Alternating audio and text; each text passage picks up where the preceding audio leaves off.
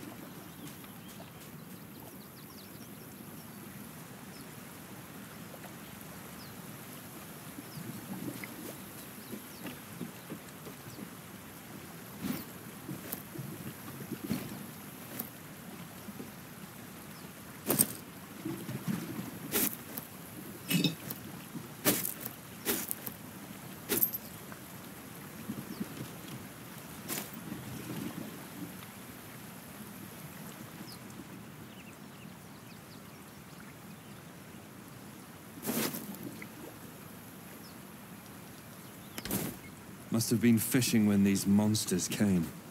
Bad luck.